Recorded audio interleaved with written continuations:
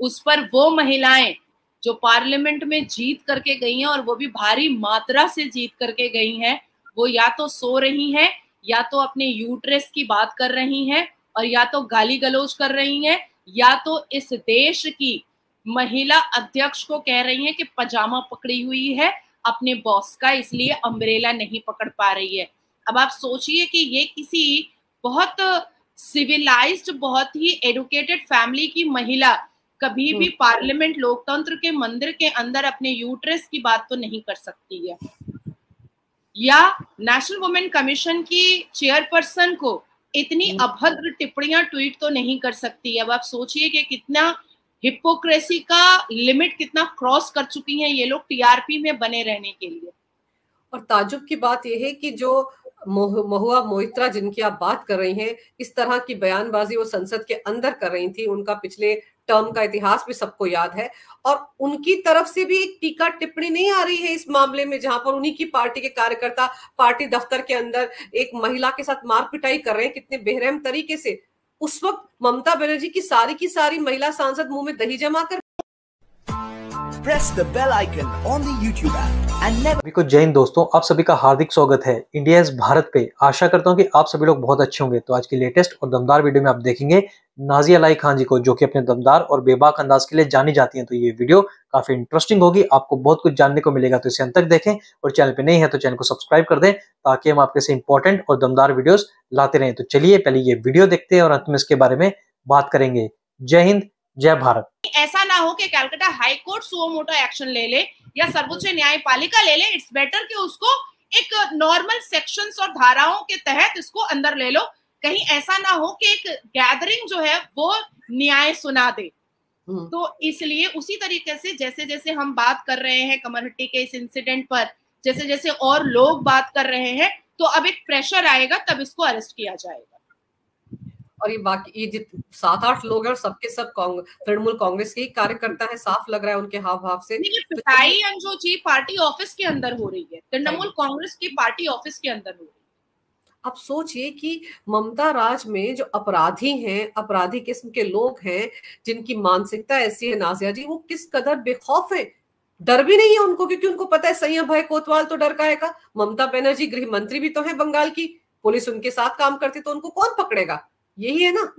Hypocrisy की इंतहा यहाँ पर समझ में आती है कि जो ममता बनर्जी देश को ये बताना चाहती हैं कि वो more than thirty six percent महिलाओं को टिकट दे करके वो पार्लियामेंट भेज रही हैं और सब जीत भी जाती हैं।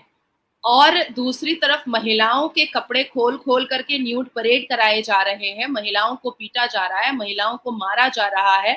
उस पर वो महिलाएँ जो पार्लियामेंट में जीत करके गई हैं और वो भी भारी मात्रा से जीत करके गई हैं वो या तो सो रही हैं या तो अपने यूट्रेस की बात कर रही हैं और या तो गाली गलोच कर रही हैं या तो इस देश की महिला अध्यक्ष को कह रही है कि पजामा पकड़ी हुई है अपने बॉस का इसलिए अम्ब्रेला नहीं पकड़ पा रही है अब आप सोचिए कि ये किसी बहुत सिविलाइज्ड बहुत ही एडुकेटेड फैमिली की महिला कभी भी पार्लियामेंट हम्म। लोकतंत्र के मंदिर के अंदर अपने यूट्रेस की बात तो नहीं कर सकती है या नेशनल वुमेन कमीशन की चेयरपर्सन को इतनी हम्म। अभद्र टिप्पणियाँ ट्वीट तो नहीं कर सकती अब आप सोचिए कि कितना हिपोक्रेसी का लिमिट कितना क्रॉस कर चुकी हैं ये लोग टीआरपी में बने रहने के लिए और ताजुब की बात यह है कि जो महुआ मोहित्रा जिनकी आप बात कर रही हैं इस तरह की बयानबाजी वो संसद के अंदर कर रही थी उनका पिछले टर्म का इतिहास भी सबको याद है। और उनकी तरफ़ से भी एक टीका टिप्पणी नहीं आ रही है इस मामले में, जहाँ पर उन्हीं की पार्टी के कार्यकर्ता पार्टी दफ्तर के अंदर एक महिला के साथ मार पिटाई कर रहे हैं कितने बेरहम तरीके से।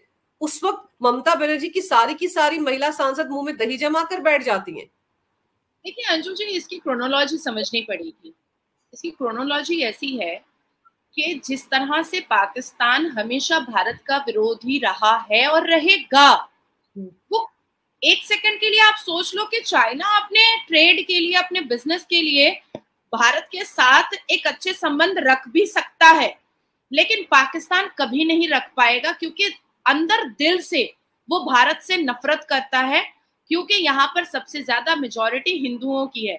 उसी तरीके से मुसलमान कभी भी भारतीय जनता पार्टी को या संवैधानिक लो, लोगों को या राष्ट्रवाद लोगों को बर्दाश्त नहीं कर पाएँगे। और अब क्योंकि पश्चिम बंगाल घोषित हो चुका है कि वो भारत का पहला शरिया कानून वाला एक राज बन चुका है तो कैसे सोचा भी जा रहा है कि महुआ मोहित्रो या शाइनी घोष कभी भी भारत के पक्ष में या भारत के राष्ट्रवाद महिलाओं के पक्ष में या संविधान के पक्ष में बात करेंगी? कभी नहीं करेंगी।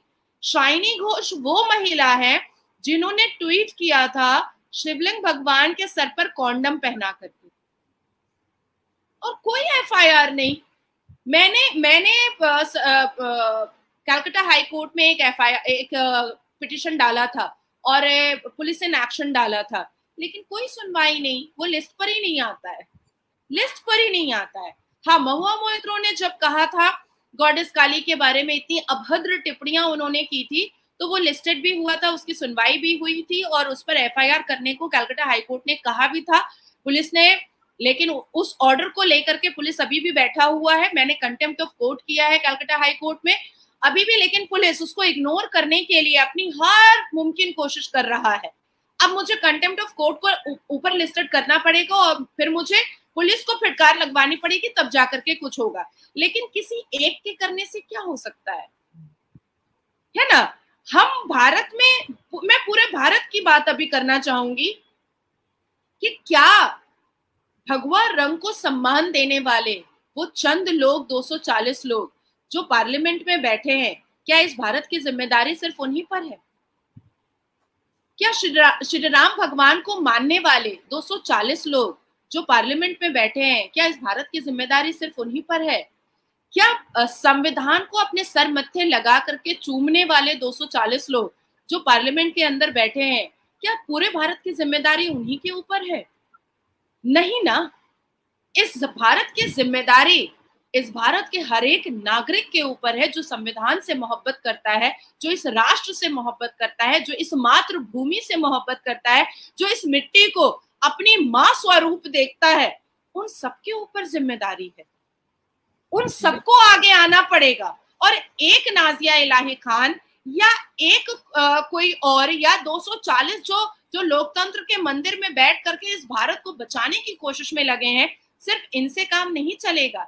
आवाज़ एक इकोसिस्टम बन करके सामने आना पड़ेगा। अगर विपक्षी दलों का इकोसिस्टम बहुत स्ट्रॉन्ग है अंजू जी जो हमें मानना पड़ेगा जब विपक्षी दलों का टूल किट सीरिया से काम कर रहा है पाकिस्तान से काम कर रहा है जर्मन से काम कर रहा है तो क्या भारत के 100 करोड़ से ऊपर हिंदू जो अपने आप को गर्व से सनातनी मानते हैं जो स्वामी विवेकानंद जी के आज भी उस उस श्लो उस कोट को पढ़ते हैं कि गर्व से कहो कि हम हिंदू हैं तो उन, वो इकोसिस्टम इस देश का क्यों नहीं बन सकते हैं? बन जाएँगे अगर सौ करोड़ से ज़्यादा लोग इकोसिस्टम का काम करने लगेंगे तो मुझे लगता है कि जर्मन का कॉकरोच चुप हो जाएगा। मुझे लगता है कि पाकिस्तान के जितने भी बिच्छू हैं, वो चुप हो जाएँगे। तो मुझे लगता है कि हम में कमी है, हमारे लोगों में कमी है कि हम बहुत खूबसूरत इकोसिस्टम नहीं बन पा रहे हैं। बिल्कुल। पीएम मोदी ने भी इसी इकोसिस्टम पर वार करते हुए संसद में कहा था कि अब इनको इन्हीं की ज़ुबान में जवाब देना पड़ेगा और मुझे लगता है उस दिशा में काम हो भी रहा होगा और हम सबको भी बहुत सजग होने की ज़रूरत है। लेकिन आप देखिए ना कि इस बार के लोकसभा चुनाव के नतीजे आने के बाद से किस किस तरह की बयानबाजी हो रही है। फिरहाद हकीम क्या कहता है कि गैर मुस्लिम बहुत बदकिस्मत है। और अभी तोकी रजा को देखिए, उसको ये लग रहा है कि आरएसएस कोई साजिश रच रहा है कि जो मुस्लिम लड़कियाँ हैं, वो सनातनी लड़कों से शादी कर रही हैं या उनके साथ उनके प्रेम संबंध हो रहे हैं, इसके लिए भी उनको लग रहा है कोई बहुत बड़ी साजिश हो रही है मुस्लिम महिलाओं के खिलाफ। नशे की तरफ़ मुस्लिम युवकों को धकेला जा रहा है, वो भी एक साजिश के तहत। ये किस तरह की आरोपबाजी कर रहे हो? देखिए मुझे ऐसा लगता है उसका शायद क्या है हियादल मिल्लत काउंसिल का सरबरा है हम्म। तोकीर रजा और मुझे ऐसा लगता है कि महाराष्ट्र को बर्बाद करने में तो मुसलमान दाऊद इब्राहिम था हम्म। एक वक्त था जब दाऊद इब्राहिम ने पूरे महाराष्ट्र को कोकीन ड्रग्स और गांजे में और असला हम्म। और बारूद में नहला दिया था और अच्छे लोग यहाँ से निकल निकल करके अबू धाबी और दुबई शिफ्ट हो चुके थे और आज वही वही महाराष्ट्र इतना खूबसूरत हो चुका है कि लड़कियाँ जो हैं वो आराम से बेबाक हो करके रात के दो बजे भी घूमती हैं, तीन बजे भी घूमती हैं, उनको कोई फ़र्क नहीं पड़ता है। और एक वक्त था दाऊद इब्राहिम जब यहाँ पर था, या, यहाँ पर याकूब मेमन था, तब यहाँ पर चकला और बार बहुत चला करता था। लड़कियाँ बेची और खरीदी बहुत ज़्यादा जाती थी। दो जूनियर डॉक्टर पकड़े गए थे, हैदराबाद के ओएमसी में ओएमसी अस्पताल में गांजा बिक्री करते हुए और गांजा यूज़ करते हुए। तो असदुद्दीन अवेसी क्या खुद गांजा फूक कर बैठे थे? जो उन्होंने अपने ही क्षेत्र में, अपनी ही कॉन्स्टिट्युएंसी में पूरे ये ये जूनियर मुसलमानों से इन्वेस्टिगेशन के द्वारा बाकी ग्रोह के बारे में पता नहीं करवाया? Mohammad Muslim alias Hussain versus state Delhi. ये केस फ़ाइल हुआ था 28 नौ 2015 को और चार मुसलमान आरोपी गांजा व्यापार में अरेस्ट हुए थे। 28 मार्च 2023 को इसका जजमेंट दिल्ली हाई कोर्ट ने दिया था और इनको कन्विक्शन हुआ। यहाँ पर भी मुसलमान तो आशा करता हूँ कि वीडियो को आपने अंत तक देखा होगा और हमेशा की तरह अंजू पंकज और नाजिया लाई खान जी का ये पूरा डिस्कशन आपको काफ़ी पसंद आया होगा और इस वीडियो में आपको बहुत कुछ जानने को मिला होगा जहाँ पे आपने देखा नाजिया खान जी ने ना सिर्फ़ इन शांति दूतों बल्कि ममता बनर्जी का भी जो दोगलापन है, जो हिपोक्रेसी है, उसको एक्सपोज किया। तो आशा करता हूँ वीडियो आपको काफ़ी पसंद आएगी अगर आपको वीडियो अच्छी लगी तो लाइक और शेयर ज़रूर कर दे और अपने विचार हमें कमेंट सेक्शन में लिखकर ज़रूर बताएँ और एक बार फिर चैनल पे नहीं है तो चैनल को सब्सक्राइब कर दें ताकि हम अपनी लेटेस्ट इंटरेस्टिंग और दमदार वीडियोस लाते रहें। तो चलिए फिर मिलेंगे ऐसी किसी ज़बरदस्त वीडियो में। तब तक अपना ध्यान रखिए। जय हिंद, जय भारत।